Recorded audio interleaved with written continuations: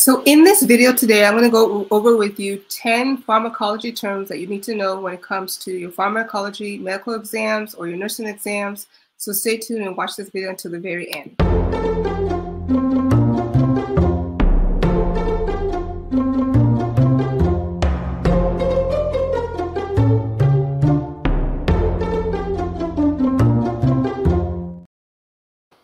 All right, so what we're going to be going over today is I'm going to be sharing with you 10 pharmacology terms that you need to know. And this is so important, whether you are studying this because you're in nursing school and you need to pass pharmacology, or you're studying this because you're taking, you're trying to pass your NCLEX exam, your nursing exams, your exit exam, or your pharmacology, soon to be pharmacology tech, or medical doctor, whichever it may be I'm going to go over with you 10 pharmacology terms that you would need to know. And depending on what your scope of practice, it will definitely give you some context to understanding the significance of each of these medications. So let's kind of go right into it. And I'm going to go ahead and also share the, each of the terms on the screen as I'm talking, so that way it can help you to better understand each of the terms. So the first one is going to be the cumulative effects of medications, cumulative effects of medications. What I'm going to be doing today, I'm going to be reading from um, one of my books, which is called Our Pharmacology Cheat Sheet Guide. And so I'm going to be simply reading over, over it and helping you to better understand what's in the book so you can better understand, you know, these pharmacology terms.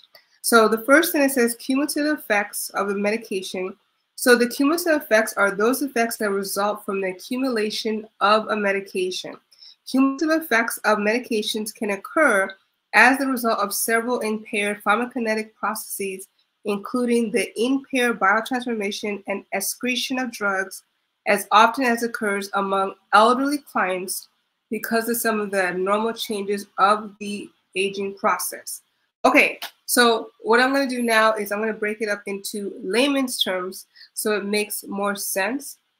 So essentially what you have to realize is that when we're giving a medication, um, when it's the first time that we're giving the medication, we're not concerned about cumulative effects, right? So this is referring to the accumulation of a medication over time in a patient's body. So when we're first giving it, the, our main concern is the side effects. But over time, though, the uh, or the potential initial side effects. But over time, though, what can happen is that if that medication is taken on a regular or frequent basis, and the patient also has um, slow metabolism, such as what we see in elderly patients or patients that have some type of liver or kidney problems, then it's going to be more likely to accumulate in the bloodstream which can result in those side effects. So a really common one that's not necessarily harmful would be taking opioids, um, like medications for pain, such as like Norco or Vicodin. When patients take that medication, initially it may not really cause them other issues aside from what's supposed to do, which is help them to feel better and have no pain. But most of the time when patients are taking this medication on a regular basis, it will accumulate in their blood and they will report constipation. So that's a common side effect with this medication. And oftentimes you'll see in the hospital where we'll, we ask them, you know, the nurse will ask them, when was the last time that you had a bowel movement? And they will say, things like, oh, a week ago or two weeks ago. I've had patients that told me a month ago, you know, and they're not even alarmed at by that. So that's certainly what cumulative effects are. So you, what you have to be concerned about is, especially for patients that are elderly or patients that have issues with metabolism or excretion, they're going to have a higher likelihood of cumulative effects and or patients that have just been taking the medication long term. So being aware of those side effects is especially important, all right? So now let's move on to the next term. Okay, let's move on to the next term. So this one is going to be drug absorption, all right? Drug absorption. So let's talk about what drug absorption is. Drug, drug absorption is the pharmacokinetic process with which the medication moves through the body to the bloodstream. Because intravenous medications are delivered directly into the bloodstream, they are not absorbed. The rates for, of absorption for oral medications vary according to the acidity of the stomach's fluids, the presence of food, and other factors. So this is really huge. So sometimes I'll, I'll have people that will, Uh, you know, not quite understand. Okay, why do I have to give this medication PO, uh, but I, but you know, why can't I also give this one IV or give this one sub Q? And it's because of the drug absorption. So there's certain medications where if you give it and it's not intended to be given in that route, it's going to absorb too quickly and it can be associated with a high mortality risk. So, for example, insulin is a common medication which is considered a high risk drug. So, with drug absorption, this is why when we have patients that when we give them like some type of medication through their mouth, we have to we advise them and let them know the medication will take about half an hour to an hour before it fully works, right? And then when we give medications, like it was saying, through their IV, it's not necessarily being absorbed in their stomach. It's literally going straight to their bloodstream, so it's going to work within a matter of minutes. So drug absorption is very uh, important, especially when it comes to understanding the routes of the medications and why we're giving it the way that we're giving it. Okay, all right, so let's move on to the next one, which is going to be drug distribution drug distribution. So drug distribution is the second phase of the pharmacokinetic process. This is the movement of medication through the bloodstream to its target. Fat soluble, fat soluble medications are attracted to fatty tissue targets. So this is essentially how the medication moves through the body. So when somebody eats food, right, whatever it is that they eat, and now what happens? The body now goes through a digestion or which is essentially how food is broken down, and then the nutrients and the glucose eventually hits to the rest of the body, right? After it goes through the esophagus, then the stomach, then it goes into the small intestine, the large intestine, etc. Right? So when it comes to drugs, it also goes through that same same process, that same movement. So that's what this is referring to. This is essentially how the drug begins to be distributed throughout the body. All right. So this one, this one we're we're not as concerned with unless a patient has a problem where maybe there's an issue in their digestive system, maybe they have a small a small bowel obstruction, and as a result, they have problems with foods foods or any drug passing through the normal way so that could be an example where they would be on like an NG tube or they would be have like a G tube and that would go straight into their uh, small intestine, right? So just depending on where the, the, the tube is located, it will go straight into their, their system. So this is all about the movement of the drug, all right?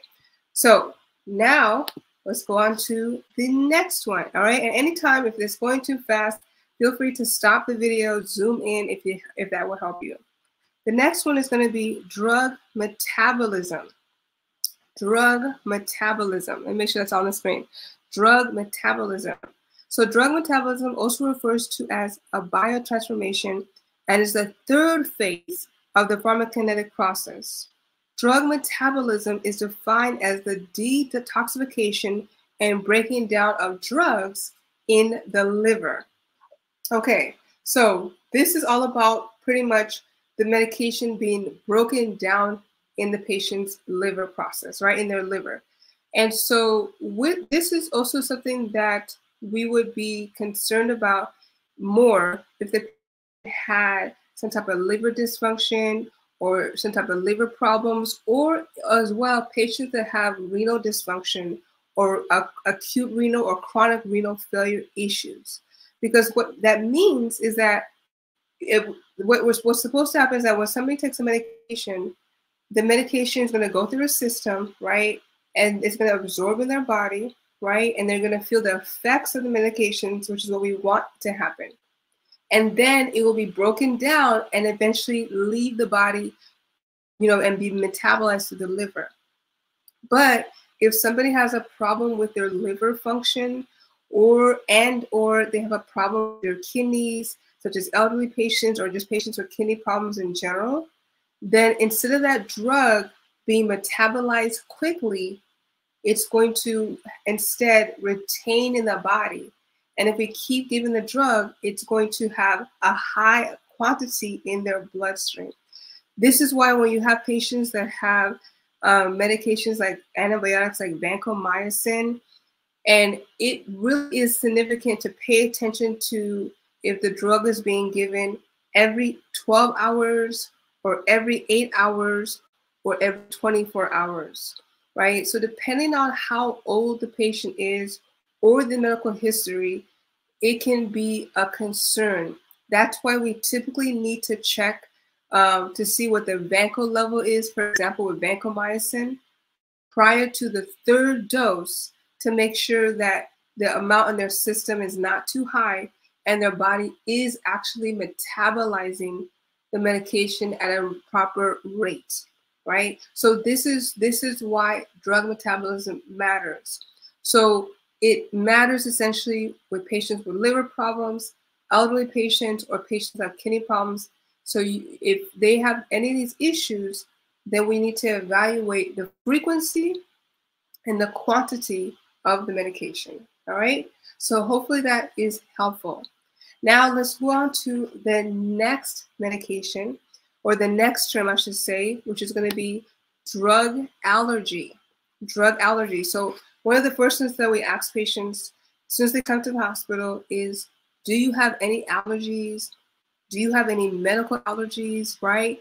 And it really also helps us to know the severity of the allergy so that way we're aware like what could potentially happen if the patient was to consume that drug or a drug that is similar um, to that medication. So drug allergy is pretty much the result of an antigen or antibody immunologic response to medication.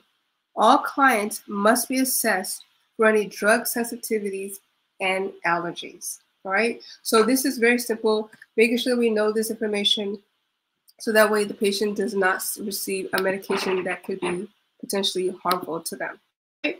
So now the next one is going to be drug interactions. Drug interactions. So drug interactions occurs when drugs and foods interact, when drugs and herbs or supplements interact, and when drugs and other drugs also interact. Some of these drugs interact are synergistic, which is meaning that they help they support each other and then and potentiating right which so it helps to further achieve that therapeutic effect. And others may be inhibiting meaning that they work against one another. So one thing that you that we should be aware of like it said it's drugs that interact with food drugs that interact with herbs and drugs that interact with other drugs so you know when you have patients uh, and when they're on medications, especially if the patient is um, confused or they're just not as aware or they're elderly, oftentimes you have to be careful about medications that you're giving simultaneously. So there's some medications where you can't give this and give this at the same time because it will cause, it will negate each of the each of the drugs or it will make it work too well right? And then there's also some type of drugs with herbs that you can't give that will also make it a problem as well.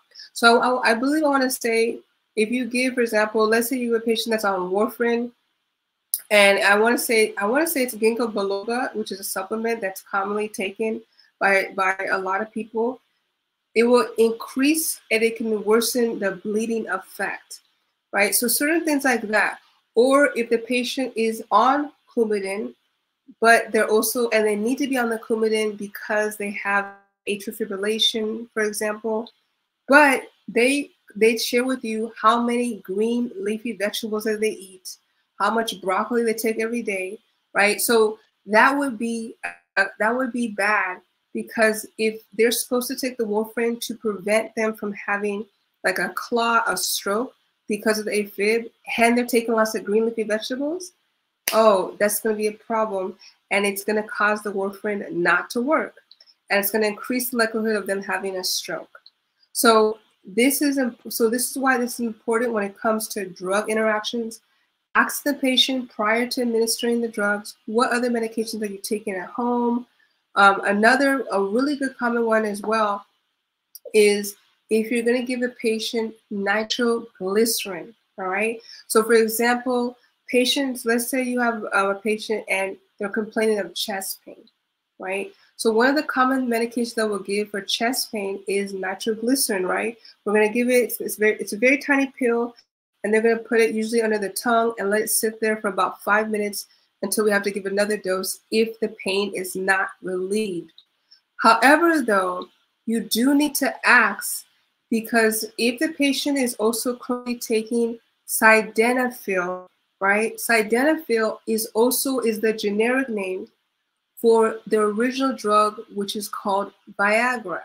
So if the patient is taking Viagra and they took it usually within the past 24 to 48 hours, and you give them nitro, it will cause their blood pressure to tank and to drop suddenly.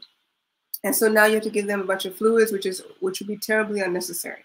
So this is one of the things too. This is an example of a of a drug and drug interacting and pretty much causing a, a detrimental, harmful effect to the patient. So being aware of all the drugs that they're on is one reason why it's so important.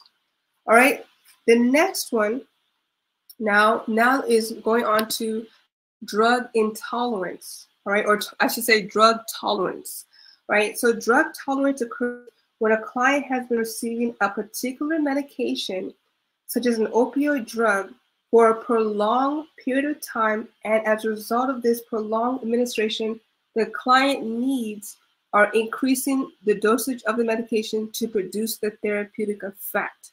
So what this means is that let's say you start the patient on, and at the beginning of month one, right, they're taking um, one pill of Norco, right? And they take that amount of Norco every single day for a month, right? But then now, two months later, they're saying like, oh, the pain is, is it's coming back, even though they're taking the medication. So now that means that they have developed a tolerance to the medication, and essentially they need a higher amount of medication in order to treat the pain or the problem that they have. So that's essentially what drug tolerance means, where their body has now gotten used to that quantity in their system. And unfortunately, they need a higher dose just to resolve the problem, um, which is of, of the cause that they need the drug in the first place. All right. Now let's go on to the next one. Right? So, and if you find this helpful, make sure you go ahead and hit the like, follow, and subscribe button, and let me know in the comments what you took away from today's video. So the next one is going to be drug toxicity. All right, drug toxicity. So drug toxicity is defined as the overdosage of a medication that occurs when the dose that is administered exceeds the client's ability to metabolize and or excrete the medication. So this is what I was talking about earlier, when I was saying about vancomycin and the reason why it's important to know the frequency and the amount the patient is taking, along with if they're elderly or if they have liver or, or kidney problems, because they're going to be at risk for uh, overdose or toxicity. And so drug toxicity means now that they've already achieved that. So now it means that their body has too much of the drug in their body. A common example of this that you probably will see on your nursing exams is digoxin toxicity. All right, digoxin toxicity or digoxin toxicalis. And this is essentially where one of the common symptoms that they'll see is like halos, right, around lights. So they have halos, they feel nauseous. They may also throw up as well. And they may also feel dizzy, right? So that's digoxin toxicity, where what has happened now is that there's too much of the med in their body, even if they were getting the normal quantity, their body has not been able to metabolize it or excrete it fast enough. And now they're experiencing those signs and symptoms. So that is the digoxin toxicity. Okay, or actually, and which is overall drug toxicity. All right, the next one now is going to be pharmacodynamics. All right, pharmacodynamics. So let me go over with you what pharmacody. Oh, sorry, hold on. Let me show this right here. Let me go over with you what pharmacodynamics looks like. Pharmacodynamics is pretty much what we've been talking about so far, right? It's pretty much all of these elements I just shared with you guys today. This refers to the actions of the medications in the body. So this is drug concentrations, receptor and binding activities, antagonistic actions, and agonist actions are pharmacodynamics principles. Pharmacokinetics is the absorption, distribution. Oh, I'm sorry, I went too fast. So pharmacodynamics, that's what pharmacodynamics is, y'all. It's essentially describing what are the actions that occurs with when the medication receives or, or enters into the body, right? So this is the, the concentration, the receptor and binding activity, the antagonist actions, and the agonist actions are pharmacodynamic principles.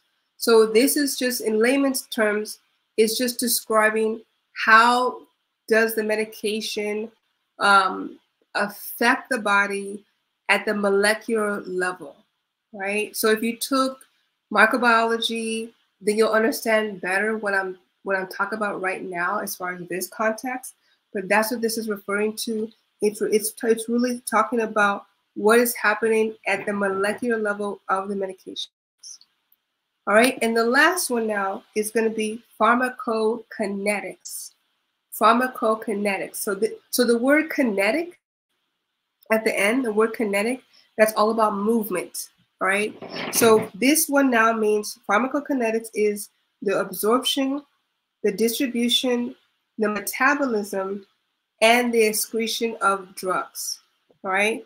The absorption, the distribution, the metabolism, and the excretion of drugs, all right? So that's actually what this is describing um, when it comes to pharmacokinetics. Each of those these terms I just went over with you guys now it will definitely benefit you to make sure that you really listen to it repeatedly. If you really, you know, need to under if you don't really understand it very well, write it down, create flashcards.